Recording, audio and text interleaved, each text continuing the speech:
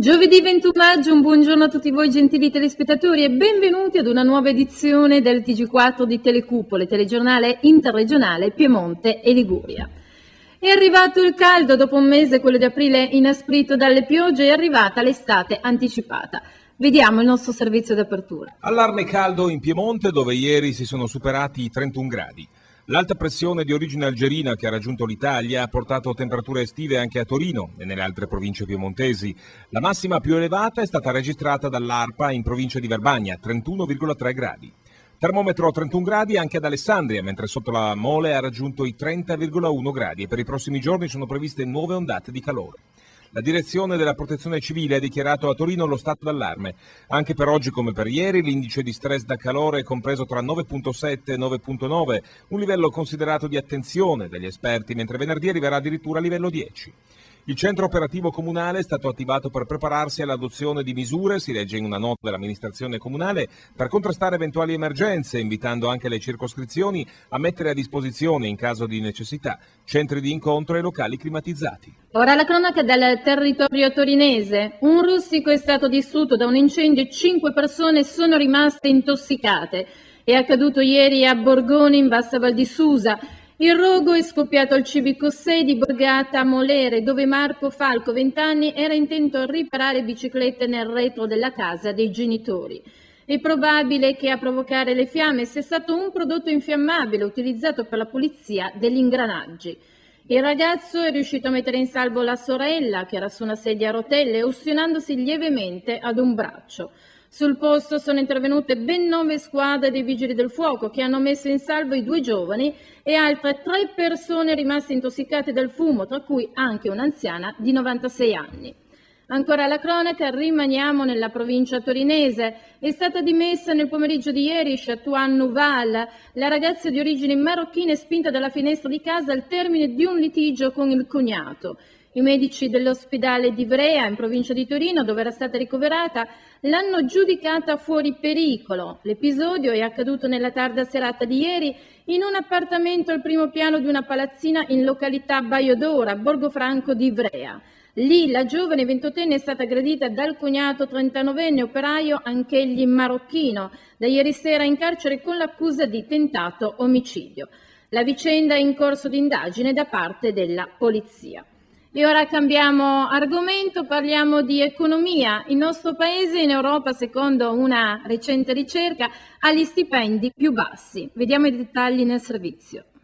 Italiani sempre più poveri, ma non solo per colpa della crisi. Secondo l'ultimo rapporto dell'Ocse, infatti, ogni cittadino italiano incassa ogni anno uno stipendio che è tra i più bassi d'Europa. Con un salario netto di 21.374 dollari, il nostro paese si colloca così al ventitreesimo posto della classifica dei 30 paesi appartenenti all'Ocse, un divario del 17%. Buste paga più consistenti non solo in Gran Bretagna, Stati Uniti, Germania, Francia, ma anche in Grecia e Spagna. Persino in Islanda, che ha dichiarato la bancarotta, si guadagna di più più. Principale responsabile di questo divario è sempre, secondo il rapporto dell'Ocse, il cuneo fiscale. Ma a risentire di questo divario sono soprattutto loro, i cittadini. L'Italia sarebbe il paese che in Europa che guadagna di meno. Tu lo senti questo, questa diminuzione del potere d'acquisto dello stipendio? Sì, molto perché, eh, perché comunque cioè, rispetto al costo della vita, una volta prima dell'euro con, 10, con, cioè, con 50.000 lire facevi la spesa, adesso con 50 euro non compri nulla. Quindi senti anche un aumento dei prezzi? Sì, sì, sì, non c'è più proporzione. Cioè, sono aumentati, sono c'è stato un aumento inversamente proporzionale, sono aumentati tanto i prezzi, però poco il, gli stipendi sono rimasti uguali. Me ne accorgo moltissimo in questi ultimi anni, con lo stesso stipendio ho sempre più difficoltà ad arrivare alla fine del mese. Questa è veramente una cosa di cui mi rendo conto giorno per giorno e credo che abbia proprio meno valore il nostro denaro. Sì anzi io non ne ho proprio lavoro, quindi ne risento ancora di più. Eh, credo che, che, ci sia sicuramente, però la farei risalire dall'avvento dell'introduzione dell'euro. Ma c'è bisogno di chiederlo? Allora, bisogna dire al signor Berlusconi, sempre se non viene tagliato, che bisogna aumentare gli stipendi al popolo, visto che è il popolo che mantiene tutta la comunità, tutta l'Italia e tutto, tutto il resto. Lavoro non ce n'è, dicono che il lavoro è aumentato, e dov'è il lavoro? Continuano a licenziare. Poi si dice che lo stipendio medio è di 1000 euro, ma dov'è? Ora la cronaca giudiziaria. Insieme alla Regione Piemonte e anche il Comune di Torino sarà parte civile nel massi processo ai pusher arrestati lo scorso giugno nella zona del cosiddetto Toxic Park. Il GIP Bevilacqua ha invece accolto la richiesta delle difese degli imputati, 43 stranieri accusati di spaccio rinviati a giudizio lo scorso 9 gennaio e ha, e ha escluso dal processo i comitati spontanei dei cittadini. Intanto il Comune ha deciso di costituirsi parte civile nel procedimento penale in quanto proprietaria del parco. Ancora alla cronaca ci spostiamo in Liguria. I genitori di Eleonora, sedicenne, Massimo Albertelli, 36enne, scomparsi dal Tare in provincia di Savona da sabato scorso, lanciano loro un appello perché tornino a casa. Abbiamo capito che vi volete veramente bene e vi aiuteremo nella vostra vita insieme. Vi preghiamo di tornare a casa. I due si sono allontanati insieme sabato mattina e di loro non si è più avuto notizia. Nei giorni scorsi i carabinieri avevano denunciato Massimo Albertelli per sottrazione di minore consenziente. Il Piemonte è la quinta regione italiana, mentre Torino è al quarto posto in Italia per numero di imprese femminili registrate nel 2008, rispettivamente con 111.000 iscrizioni a livello regionale e 55.000 nel capoluogo. Sono alcuni dati emersi dal convegno La forza propulsiva dell'imprenditoria femminile organizzato a Torino.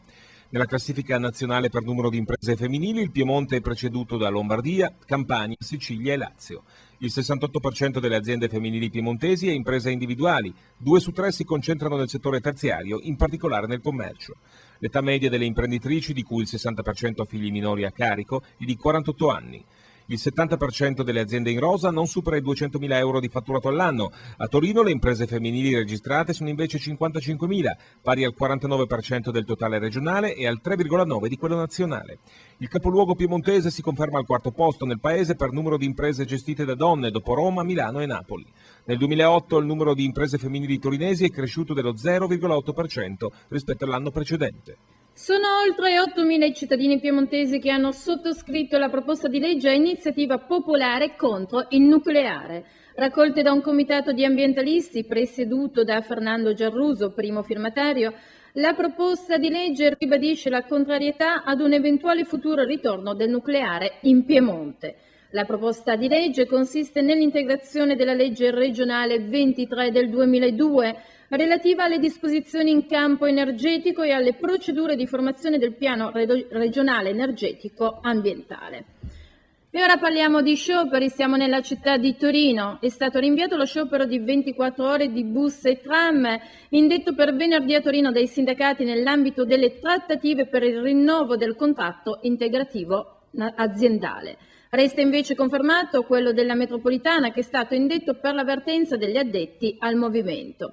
Sarà garantito il servizio dalle 6 alle 9 e dalle 12 alle 15. Il gruppo torinese Trasporti GTT ricorda però che le trattative proseguono, potrebbero 15, quindi esserci sviluppi nelle prossime ore che verranno immediatamente comunicate agli organi di informazione.